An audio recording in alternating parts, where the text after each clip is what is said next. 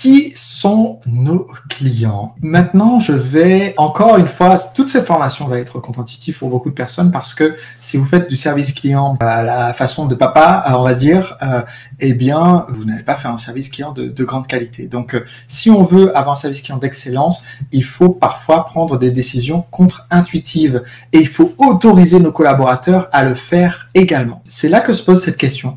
Devons-nous vraiment essayer de fournir notre produit ou service à tout le monde. Et j'aimerais suggérer le contraire. En fait, depuis maintenant euh, dix ans que nous, euh, au mouvement des entrepreneurs libres, accompagnons des entreprises allant du solopreneur à des, des petites euh, entreprises de 10 salariés ou davantage, et que nous avons 20 000 clients entrepreneurs dans 35 pays, nous avons constaté un phénomène très très intéressant.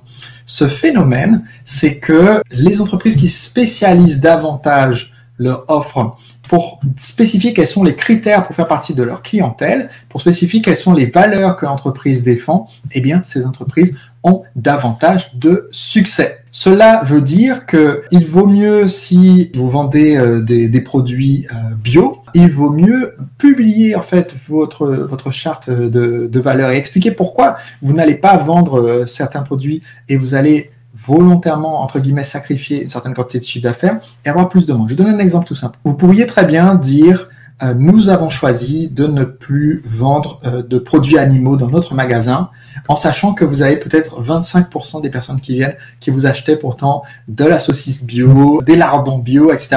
À cause de la façon dont ces produits sont transformés, même s'ils sont bio, euh, nous, ne souhaitons plus en vendre parce que nous voulons encourager une transition écologique et vous affirmez cela. Eh bien, vous allez perdre un pourcentage de clientèle pour qui acheter des lardons est plus important que euh, réduire son empreinte carbone, par exemple.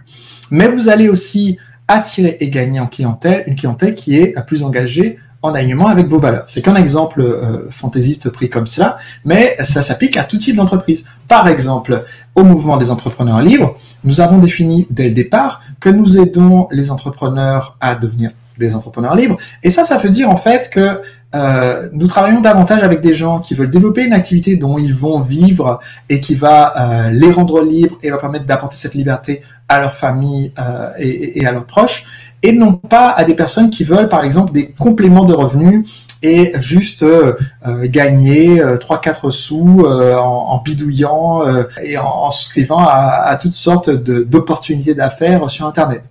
Et ça, ça nous coupe d'une partie potentielle de la clientèle. Beaucoup de nos euh, confrères et euh, qu'on pourrait considérer comme des concurrents euh, trouvent ça génial en fait de vendre à des prospects qui qui veulent un complément de revenu parce qu'ils font des petites promesses du genre si vous si vous faites tel truc, vous spammez un peu Twitter, etc. Vous allez pouvoir vous faire 50 euros de plus par mois.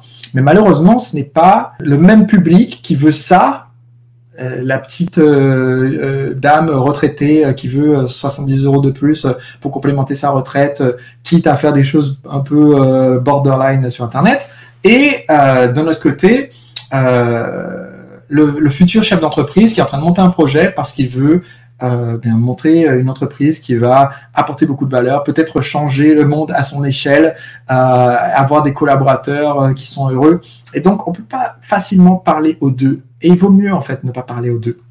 Donc, en tant qu'entrepreneur, c'est très important que de définir qui est notre avatar, notre client idéal, et qui ne correspond pas à nos valeurs et nous ne souhaitons pas. Par exemple, au moment des entrepreneurs libres, depuis le départ, on a dit, ben, on fait pas de formation pour le marketing de réseau ou marketing multiniveau ou MLM.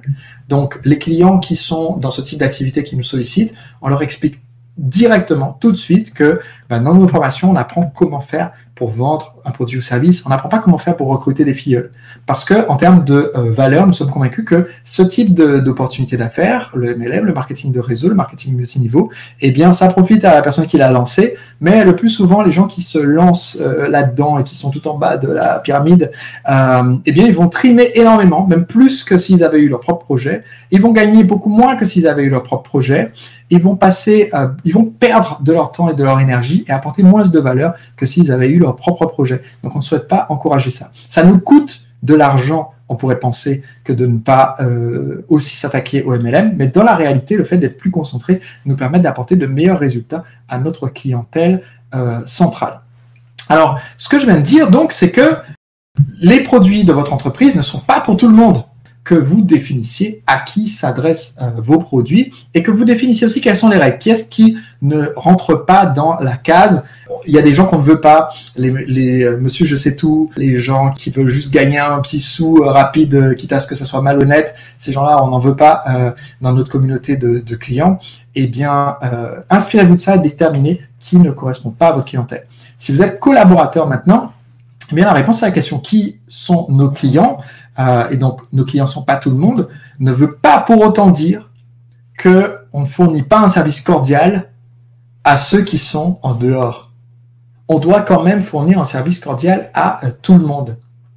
C'est hyper important, même et même si ce sont des prospects, même si ce ne sont pas des clients. Je vais donner un exemple. Euh, il y a quelques années, il y a une dirigeante de spa basée sur la côte à la boule, euh, qui a reçu un de mes livres gratuits. C'est un cadeau, elle a reçu un de mes livres gratuits. Eh bien, une personne comme ça, on va dire, qui n'a encore rien acheté, quand elle nous envoie un email pour euh, demander euh, des, des, informations ou des conseils, est-ce qu'on devrait laisser sa question traîner ou ne pas lui répondre ou euh, l'expédier rapidement parce qu'elle ne nous a encore euh, rien acheté euh, et donc est-ce qu'on devrait un peu s'en débarrasser parce qu'on doit on veut se concentrer sur les gens qui nous ont payé Eh bien non, on veut fournir un service de qualité à toutes les personnes qui nous contactent, tous ces contacts entrants parce qu'il se peut très bien comme ça a été le cas pour cette personne qui s'appelle Stéphanie, qui est Spa La Ball, eh bien, Stéphanie, après avoir reçu un de mes livres gratuitement, deux ans plus tard, est spontanément venue s'inscrire à un de, nos séminaires après avoir envoyé quelques emails et eu des réponses qu'elle a bien aimées, je suppose. Elle est venue à nos séminaires et a acheté une euh, prestation à 35 000 euros hors taxe. Donc, voyez que le simple fait d'avoir eu un contact positif initial peut avoir un retour sur investissement énorme pour l'entreprise. Donc, en tant que collaborateur, c'est important de savoir à qui on s'adresse pas pour pouvoir cordialement expliquer aux clients si nos produits leur correspondent pas parce qu'ils sont dans cette catégorie.